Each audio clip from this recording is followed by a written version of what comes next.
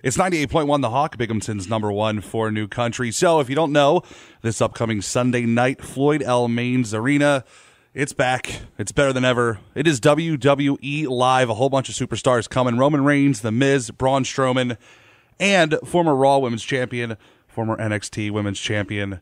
It's Bayley. How you doing? Great. And you're right, it is going to be better than ever because it's the coolest thing on the universe right now. So get your tickets. Absolutely get your tickets. I think I've been to like 15 shows in a WrestleMania, and it gets better every single time I go. Whoa, you're hardcore. and WrestleMania, that's that's the top of the mountain right there. Yeah, I went to the one in the Meadowlands, and I sat all the way up top, and it was still amazing. It was crazy. Right.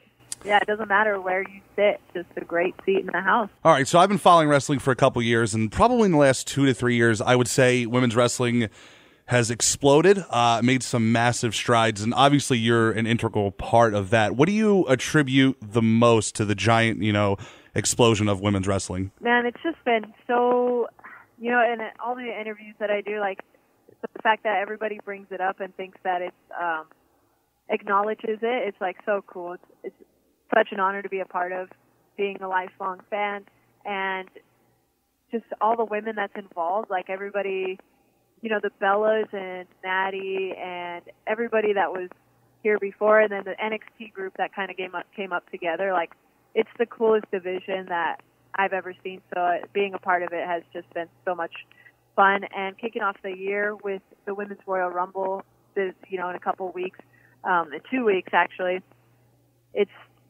just amazing because we don't know what's going to happen in the next year. We still got the whole year to go, and there's probably going to be a whole lot of first times coming up.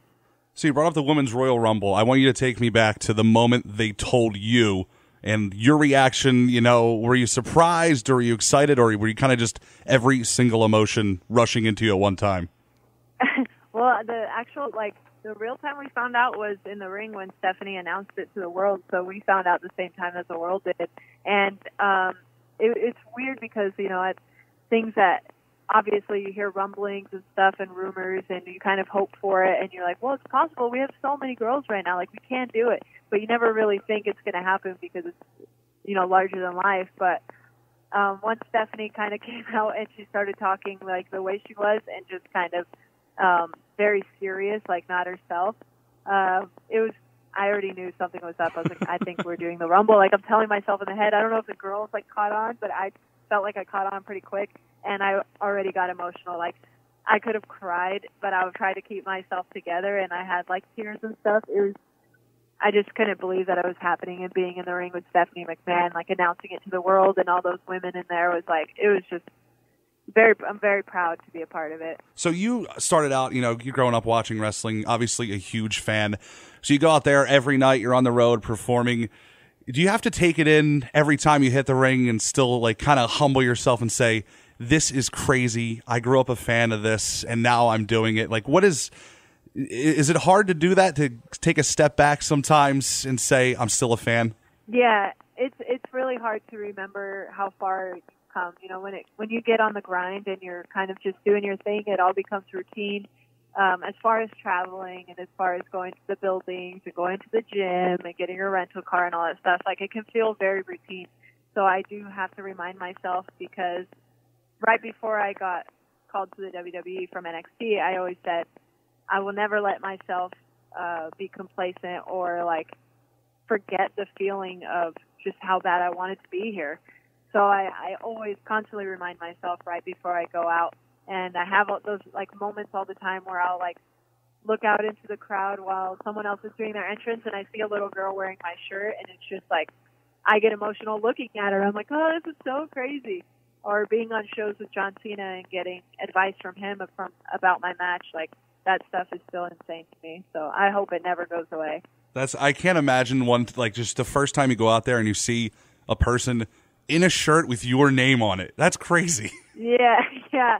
It's so weird and I always like why do you, and I always tell myself like why do they care why do they care for me? I don't know why. it's so crazy that they actually care about me, but like that literally used to be me. So I, I just am can imagine how happy they are and how much fun they're having.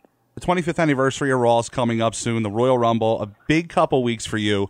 looking back at Monday Night Raw, what sticks out in your mind? Is there a certain moment where you became hooked or something that you kind of, you know, base your career off of like I want to be like this person. I want to be like this moment on Raw. It was definitely the Lita and Trish rivalry that really um I always thought Lita was the coolest and when she joined like when she was with the Hardys I just wanted to dress like her. I wanted to look like her. Um when I told myself I wanted to be a wrestler, like I wanted to wrestle like her. So I was going to go to Mexico and learn how to do her food salt and all that stuff. Like I, everything was about her. But once I um, saw her rivalry with Trish and the story that they told and the matches they had, and um, they were given these main event spots, like that's when I really sunk my teeth into like the story and everything. And I always said like, I want this. Like I want someone to be as invested in my story as like I am right now. So that was always a number one goal, and I felt like I I had that with Sasha and NXT, but I'm still itching to get something like that here in WWE. All right, so before I let you go, I'll run through this again. WWE Live's coming to the Floyd L. Maines Arena. A whole bunch going on. Tickets are on sale right now. It's this upcoming Sunday night. Uh, there's a whole bunch of restaurants around the arena, so go grab some food and watch some awesome wrestling. I will be there. The Royal Rumble, the first ever women's one, is coming up. What's your strategy? My strategy, I told myself this from since Stephanie announced it.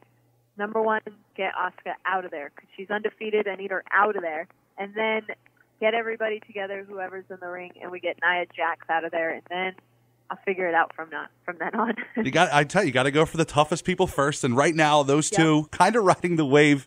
Uh, two of the most dominant superstars in the WWE. And I think, I think your strategy's pretty good, actually. Yep, yep, I got this, guys. All right, Bayley. Well, thank you for calling. I do appreciate it. This is my first ever interview with a WWE superstar, so I just want to let you know that. Thanks. So I'm honored. I hope you had fun. I did. This was great. All right, everybody. Again, WWE Live, Sunday, January 21st at 5 p.m. Floyd L. Maines Arena. Get your tickets. Go out there, buy Bayley's shirt, and root for her. Yeah, see you guys there.